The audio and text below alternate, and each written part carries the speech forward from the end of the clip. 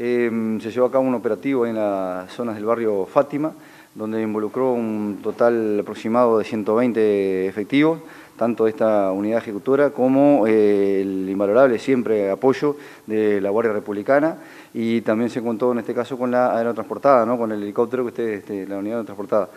Em, bien, ahí se hicieron un total de 13 allanamientos, más algunas inspecciones autorizadas por los propietarios de la finca, y se detuvo un total de 19 personas.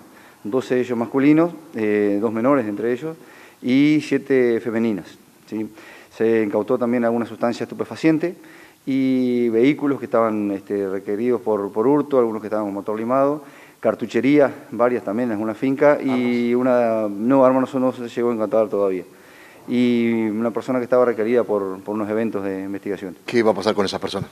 Bien, eso, algunas de esas personas incluso estaban en lo que se denomina fumaderos, porque usan esa modalidad, tanto en este caso estaban en la tarde, en el día, pero también lo usan en la noche para eh, no salir de los lugares de las ventas de, las bocas con eh, el producto de la, venta, ¿no? con la droga que son más factibles de poder ser este, detenidos.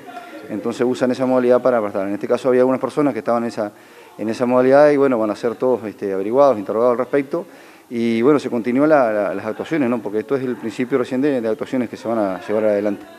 Eh, se hizo en esto por un poco la, magnitud, se necesitaba ese despliegue para poder abarcar en un corto plazo eh, una mayor cantidad de terreno y también este, con el despliegue de fuerzas para minimizar algunos otros efectos que pudieran, eh, de, desacatos o de alguna otra situación para, minimizar esos, esos efectos de enfrentamiento.